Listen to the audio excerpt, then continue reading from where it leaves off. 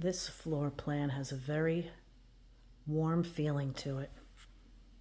Entry is a den, family room, and really could be used as a third bedroom. They have some lovely shutters on here.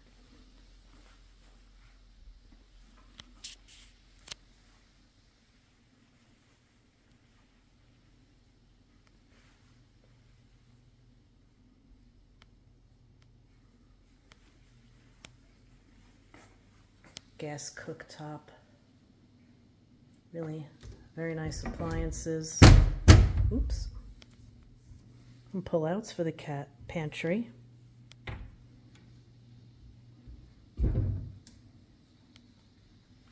This home was built in, I think, 2015, if I recall.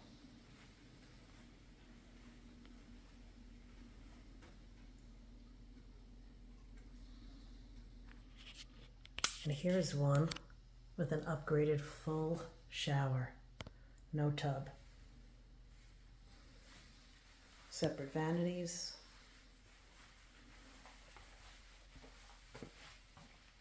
And a very nice closet.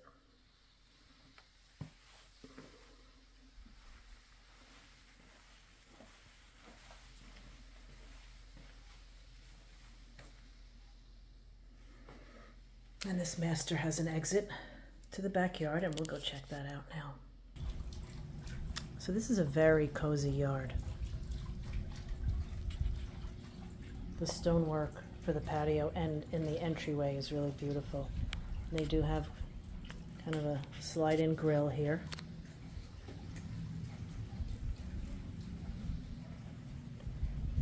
see the neighbors have a spa. So lots of plants. Really great shaded backyard.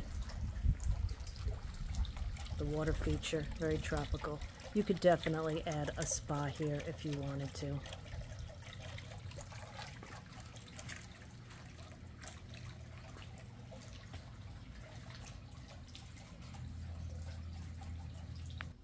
So as you could see, these homes were designed by the owners based on um, how they live. So there'll be plenty of opportunities to tweak it and customize it to your lifestyle. Some people live here year round, and some people may only be here for the winters.